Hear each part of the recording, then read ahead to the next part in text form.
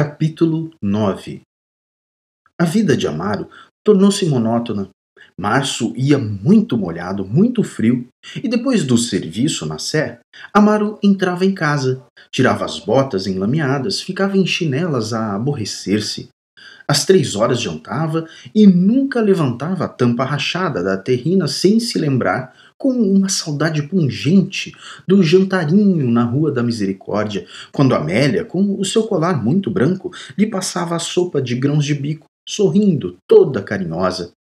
Ao lado, a Vicência servia, tesa e enorme, com o seu corpo de soldado vestido de saias, sempre constipada, e de vez em quando, desviando a cabeça, assoava-se ao avental com ruído, era muito suja. As facas tinham o cabo úmido da água gordurosa das lavagens. Amaro, desgostoso e indiferente, não se queixava, comia mal, à pressa, mandava vir o café e ficava horas esquecidas sentado à mesa, quebrando a cinza do cigarro na borda do prato, perdido num tédio mudo, sentindo os pés e os joelhos frios do vento que entrava pelas frinchas da sala desabrigada.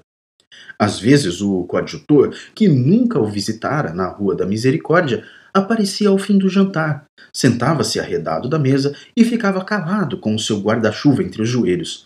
Depois, julgando agradar ao pároco, repetia invariavelmente: Vossa Senhoria aqui está melhor, sempre é estar em sua casa. Está claro, rosnava Amaro. Ao princípio, para consolar o seu despeito, dizia ligeiramente mal da São Joaneira, provocando, animando o coadjutor, que era de Leiria, a contar os escândalos da Rua da Misericórdia. O coadjutor, por servilismo, tinha sorrisos mudos, repassados de perfídia. Ali há podres, hein? dizia o padre.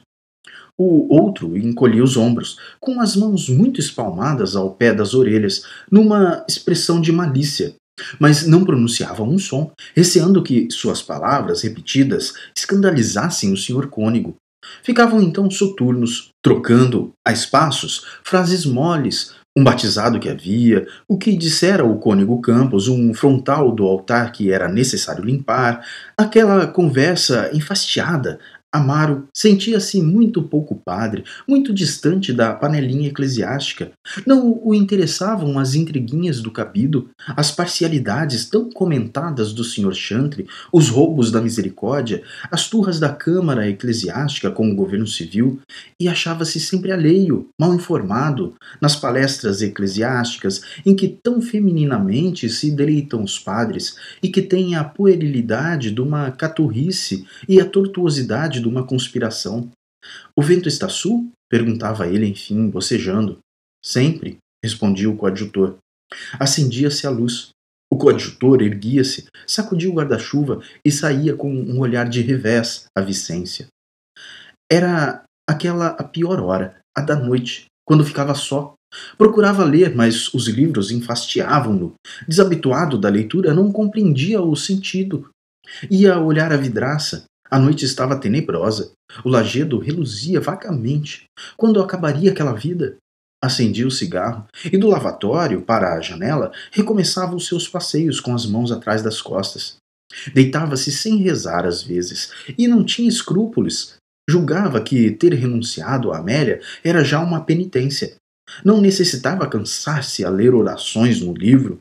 Celebrara o seu sacrifício, sentia-se vagamente quite com o céu e continuava a viver só.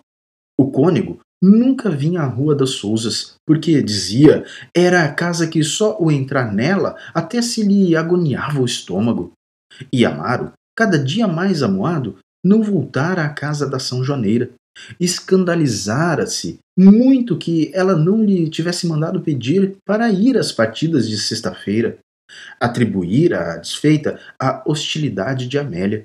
E, mesmo para a não ver, trocara com o padre Silveira a missa do meio-dia, onde ela costumava ir, e dizia a das nove horas, furioso com aquele novo sacrifício: